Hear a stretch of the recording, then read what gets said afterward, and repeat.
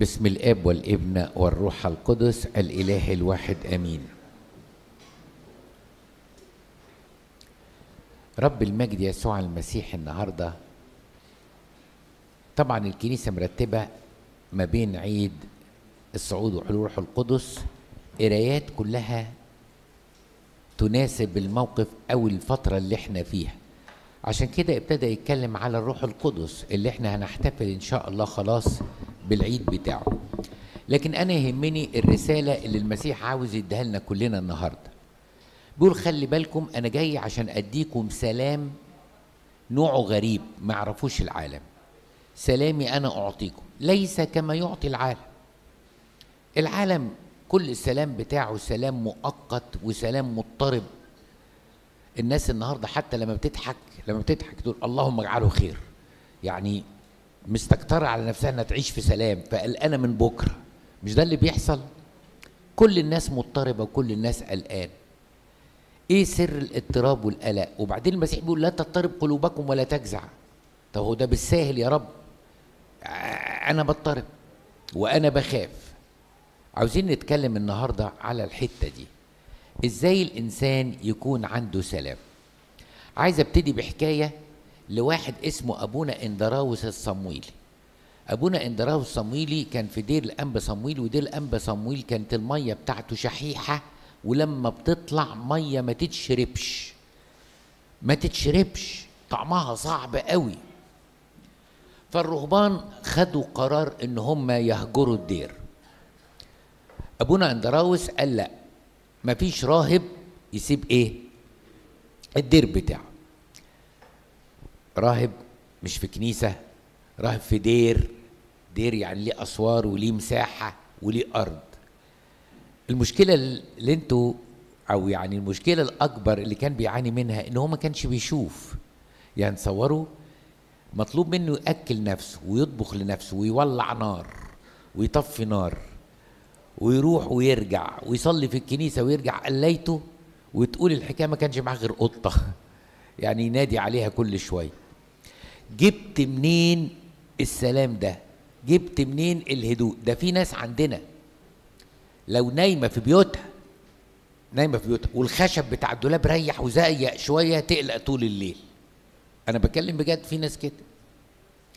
طب أنت جبت السلام ده منين؟ آه لما هو ده سلام المسيح اللي ما يعرفوش العالم. أصل بصوا بقى من الآخر كده. إيه اللي بيدي الناس الأمان؟ إيه اللي بيدي الناس الأمان؟ الفلوس؟ الحقيقة لا. الفلوس بتقدر تعالج الأمراض المستعصية. الفلوس هي اللي بتأمن ولادنا. الحقيقة كل ده كلام فاضي. الحياة اللي أنا شايفها والخدمة اللي أنا بخدمها بتأكد كده. صدقوني صدقوني الناس اللي ما بتسيبش لاولادها حاجة غير يعني ها أفضل من اللي سابوا مئات الألوف والملايين وبيتخانقوا مع بعض ومش طايقين بعض وقطعوا بعض بسبب الفلوس. فالسلام الإلهي مصدره ربنا. الإنسان اللي ماسك في إيد أبوه يقول كده وإن سرت في وادي ظل الموت لا أخاف شرا لأنك أنت معي. وهديكم حكاية من الكتاب المقدس. الحكاية اللي من الكتاب المقدس دي بتحكي إيه؟ بتقول كده.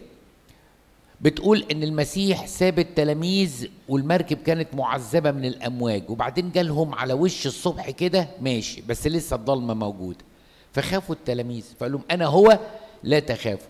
فبطرس قال له إذا كنت أنت هو امرني أمشي على المية وأجي لك. قال له انزل. بطرس نزل ومشي على المية. من ناحية مشي مشي على المية. مش خطوة واثنين وثلاثه خلي بالكم لأن ده هطبقه علينا. هطبقه علينا دلوقتي. أصل إحنا كلنا عاملين زي بطرس ده. وبعدين بطرس طلع في دماغه حاجة بقى. يا نهار أبيض ده الدنيا ضلمة. يا نهار أبيض ده أنا ماشي على البحر. يا نهار أبيض لو تطلع لي كابورياية تقرصني في رجلي ولا ولا سمكة ولا ولا شوكة من شوك البحر هيحصل لي إيه؟ أول ما نزل عينه من على المسيح وابتدى يفكر بعقله ابتدى إيه؟ يغرق. فالمسيح مسك إيده ووبخه وقال له ليه شككت يا ضعيف الإيمان يا قليل الإيمان؟ أنا وأنتوا عاملين زي بطرس إزاي؟ إحنا كلنا مشينا الثلاث أربع خطوات دول على المية مع ربنا قبل كده وكلنا شفنا ربنا في حياتنا وشفنا ستره وشفنا سندته وشفنا عمله. كلنا شفنا كده. وبعدين ابتدينا مع الوقت نشك. طب والولاد؟ طب ولو كبروا؟ طب ولو البت ما جالهاش عريس؟ طب ولو مش عارفين في إيه؟ طب دي الشقة إيجار ولو خدوها في إيه؟ قاعدين نشغل ده. فربنا يقول ما دام انت نزلت عينك من عليا وبصيت لمشكلتك مشكلتك هتبلعك زي الدوامة. وهتفضل قلقان. وبقى نسمع يقول لك أنا طول الليل بفرك يا أبونا من القلق ومن الهم ومن الغم. طب ما أنت في إيدك تبص عليه. ما أنت في إيدك تجيب كل مشاكلك وتحطها تحت رجليه. تحت رجليه. هو هيتصرف. هو هيتصرف. أوقات العقل يخلينا نشك في ربنا. يعني نسمع عن طفل كده أمه ماتت في حمى النفاس يعني إيه؟ يعني سابت الواد لحمة حمراء. في وقت ما كانش فيه لبن بودرة ولا لبن أطفال كانوا يجيبوا حاجة اسمها مرضعة وكانت الرضعة بثلاث تعريف.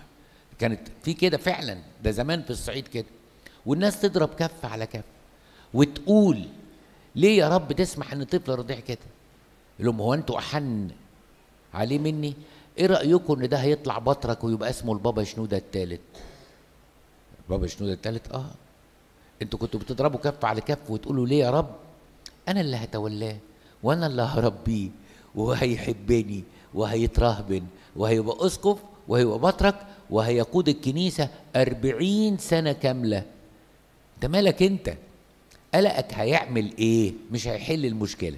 الشطارة إنك تاخد كل قلقك وكل مشاكلك وتحطها تحت رجليه وتقول له يا رب احكم يا رب دبر الدنيا اللي فيها كلها بتاعتك. صدقوني يا جماعة صدقوني. صدقوني وأرجوكم تصدقوني. اطلبوا الستر ما تطلبوش الغنى لأن هم الغنى أصعب من هم الفقر.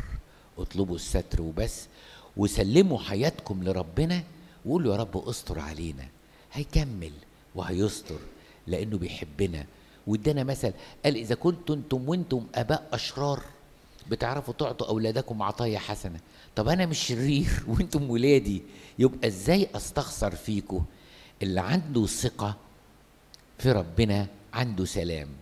وكل لما الإيمان يقل والثقة تقل التعب والقلق والإضطراب يزيد. ربنا يديني ويديكم. إن نسلم كل أمورنا لربنا لأن هو ملك السلام وهو هيدينا سلام يفوق العقل لإلهنا كل مجد وكرامة الآن وإلى الأبد. آمين.